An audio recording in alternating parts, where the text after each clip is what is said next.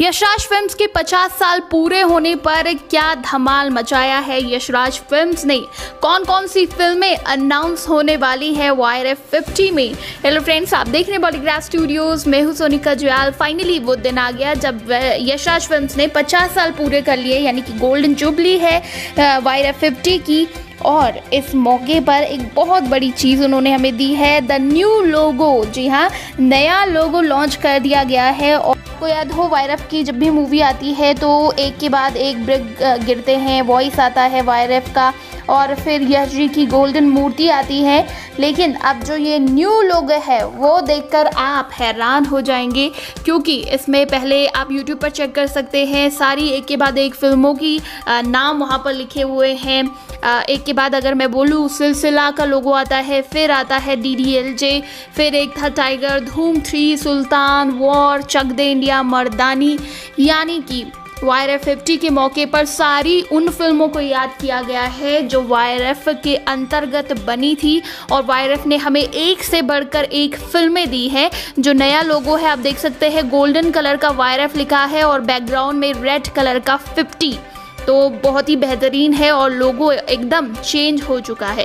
साथ ही कैप्शन उन्होंने दिया है five decades by capturing the heart we have only began यानी कि अभी तो शुरुआत है यानी कि 50 साल पूरे कर लिए हैं लेकिन अभी भी वही जोश वही जुनून रखता है वाई और कहा है अभी तो शुरुआत है और उन्होंने कहा है रिज़र्व योर सीट रिज़र्व कर लीजिए अप, अपनी सीट्स को। We promise to entertain you upcoming fifty more years यानी कि आने वाले पचास साल भी हम आपको ऐसे ही एंटरटेन करते रहेंगे। और वायर एफ़ एक बड़ा प्रोडक्शन हाउस है बैनर है, जिसके साथ हर कोई बड़े से बड़ा एक्टर काम करना चाहता है।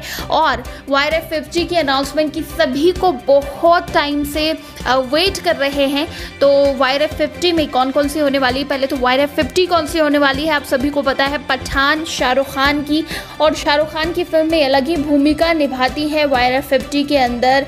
इन दोनों का बॉन्डिंग बहुत कमाल का है। उसके बाद आपको धूम फोर वॉर टू जिसका सभी को इंतज़ार है गणपत और टाइगर थ्री, जो वायर के बैनर तले बनने वाली हैं, यानी कि अपकमिंग छः से सात फ़िल्मों की अनाउंसमेंट एक के बाद एक वायर करने वाला है। बड़े बड़े प्रोजेक्ट्स है बड़े बड़े स्टार्स के। इसमें टाइगर श्रॉफ है, शाहरुख खान है और ऑफकोर्स ऋतिक रोशन है, जो सभी के दिल के चहीते हैं तो बहुत सारी फ़िल्में वो अनाउंस करेंगे। अब सभी को यही इंतज़ार है, पहले सब कह रहे थे कि पेंडेमिक के चलते कुछ नहीं होगा वायरफ फिफ्टी के दिन, लेकिन वायरफ शांत कैसे बैठ सकता था? और फाइनली उन्होंने लोगों रिलीज़ कर दिया है। आप सभी जानते हैं, इस वक्त बॉलीवुड में बहुत कुछ चल रहा है।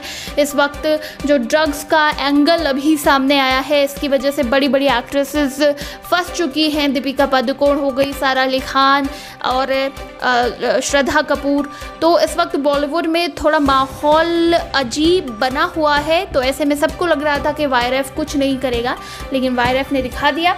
कि वाई एफ़ फिफ्टी की अनाउंसमेंट तो होनी ही होनी है और वाई एफ़ किसी के लिए नहीं रुकता। तो दोस्तों, आपको वाई एफ़ की फ़िल्मों का कितना इंतज़ार है? पठान गनपा टाइगर थ्री इन सभी का कितना इंतज़ार है? खासकर वॉर टू का कितना इंतज़ार है? हमें नीचे कमेंट सेक्शन में ज़रूर बताइएगा। और इसी तरह के दूसरे बॉलीवुड टॉलीवुड हॉलीवुड अपडेट्स के लिए सब्सक्राइब करिएगा हमारे चैनल बॉलीग्राफ स्टूडियोज़ को।